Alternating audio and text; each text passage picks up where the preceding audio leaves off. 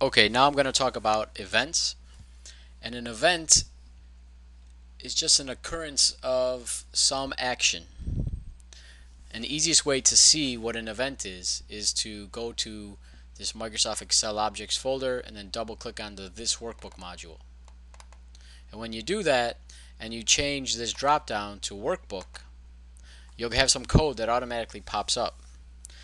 And it automatically pops up because there are default events that are written for you. Um, you just have to write the code to do whatever you want to do when those events happen. So this event that the default event that pops up is the workbook open event.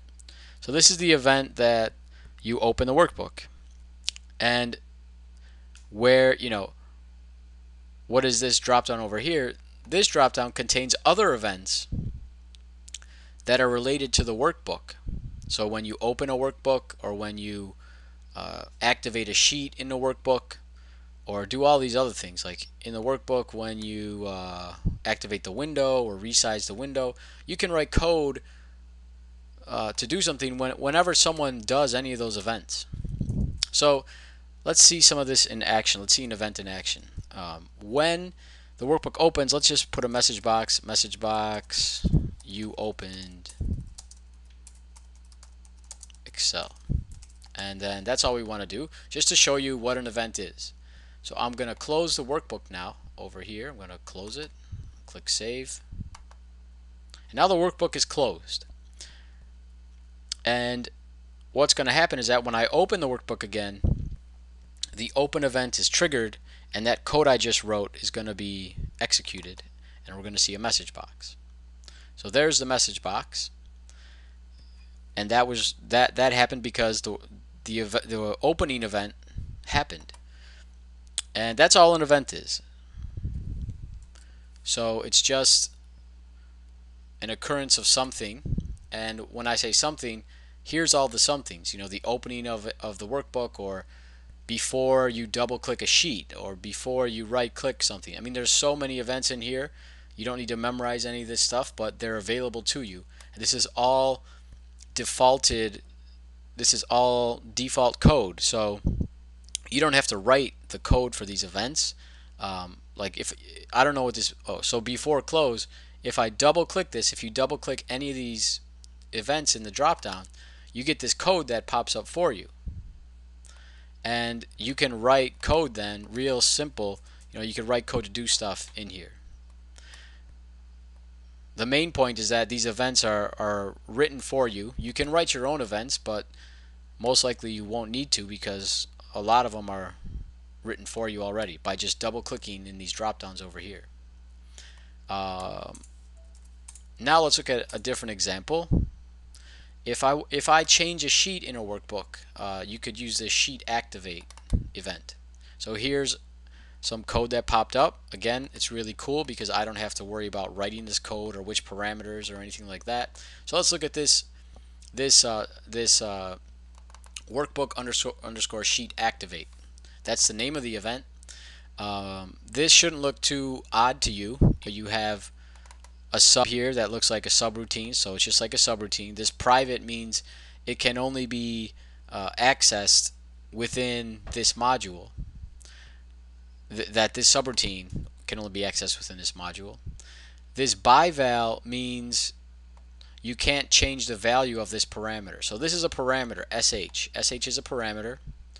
And what kind of parameter is it? It's a object parameter. We, we haven't talked about object parameters yet, um, but they, they are things like uh, a range or a cell you can you can put those into variables. And we'll talk about them in the future but for right now just know that this object is going to be a sheet object. Well it's going it's going to contain a lot of things and and we'll see that in a second but right now you just need to know that it's there's a parameter. Its name is sh and its data type is object. And this byval means you can't change the value of whatever's passed in so how do we how would we use this? Um, let's put a message box that says you change or your new sheet is So there's my text, and I put it in double quotes, and then I put an ampersand. And now I can access some things on this uh, sh variable, or this sh parameter. Oops.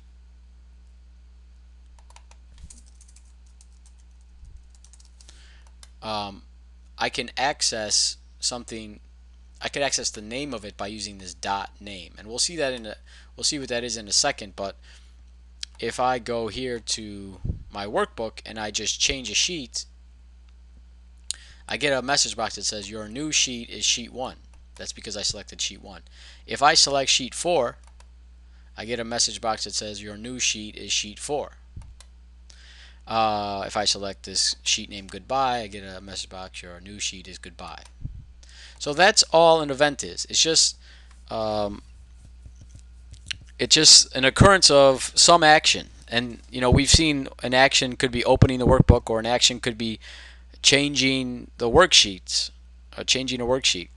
And we've seen that it could be all these other things too. Um, I mean, you could look at them or Google them. There's tons of them. And there are also events related to the individual worksheets as well. So if you write code here, for if you have events here, this is related to the workbook, but if you want to relate events only to a sheet, you can you can look at look at that here. So if you go changes from general to worksheet, you get a worksheet underscore selection change, and this only applies to the sheet one, right? So this code it uh, it has to do with when you change a selection. So we can do something like this: uh, message box, uh, new selection, and target dot address. So what this does is, you know, this this event again it, it looks like a subroutine because it has sub and the private makes it only available within this module here. So it's only going to be available within the module. This is the name of the event selection you know worksheet underscore selection change. It has a parameter that takes that is a range object. That's the data type. Um, the name of the parameter target the byval again means you cannot change the value of this target in this code so you cannot try to change the value of target. But you can access things of that parameter. And one of the things you can access is the address of the new selection. So let's just see how this works. And you'll, you'll, you'll understand this more in future videos, but here's a sneak peek. Um, when you go, and again, this only applies to sheet 1. This event only applies to sheet 1. So if I go to sheet 1, and I change from, okay, there's the, there's the uh, message box that says I changed the sheet. But now on sheet 1, if I change my selection over here, I get this message box that says your new selection is B22 and that's because I selected you know B22 if I change it to if I click OK and change it to B21 I get this message box that says your new selection is B21 but watch what happens. If I go to the goodbye sheet and I and there's my message box for changing the sheet I can change selections but I don't get message boxes because that code I wrote over here, you know, worksheet underscore selection change, it's in the sheet module. It's not it's not in all the sheets, you know, it's not here in the goodbye sheet. It's only in this sheet one, right? So you can see that you have events and they're associated to the worksheet or they can be associated to the workbook.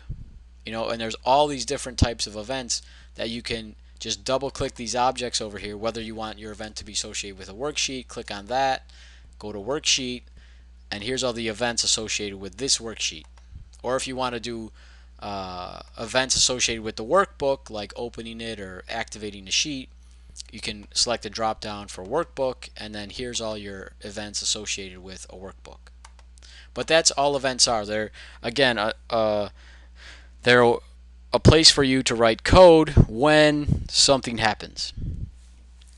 So that's all I want to talk about now. And right now, you know what an event is, you know what a subroutine is and you know what a function is. And those are uh, the, the huge building blocks that now we can start moving uh, quicker and we could start getting into some deeper things. And that's what we'll do next.